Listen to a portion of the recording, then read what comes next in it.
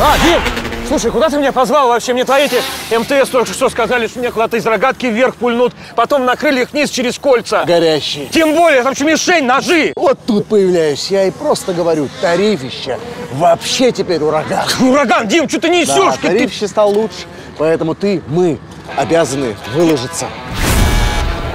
Как тут не выложиться, ведь тарифище стал круче. Раздавай безлимитный интернет. Вернем полцены тарифа при подключении.